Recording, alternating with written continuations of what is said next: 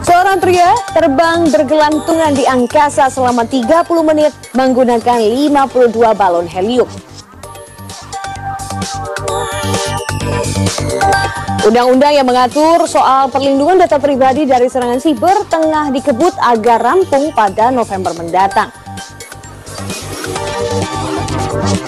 Nostalgia balapan mobil Mini 4W di Tamiya justru banyak digandrungi oleh orang dewasa yang rela merogoh koceknya hingga jutaan rupiah.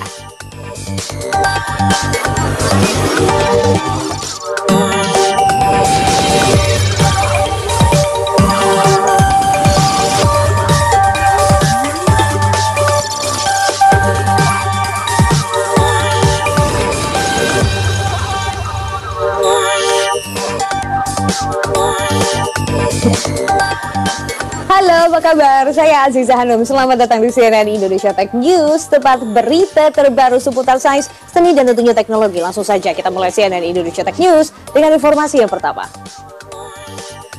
Pandemi COVID-19 membuat sejumlah agenda sekolah pun dibatalkan. Salah satunya karya wisata alias study tour.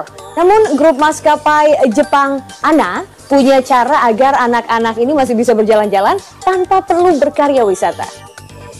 Gimana, tertarik juga untuk bisnis semut? Kita beralih ke informasi selanjutnya.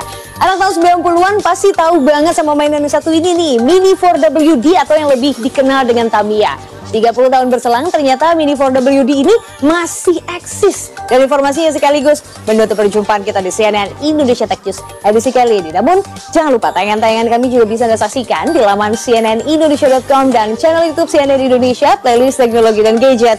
Saya Aziza Hanum pamit undur diri. Jangan pernah berhenti untuk berinovasi dan ingat cuci tangan, pakai masker dan juga jaga jarak di mana pun Anda berada. Yakin kita bisa lawan COVID-19 bersama-sama. Sampai jumpa.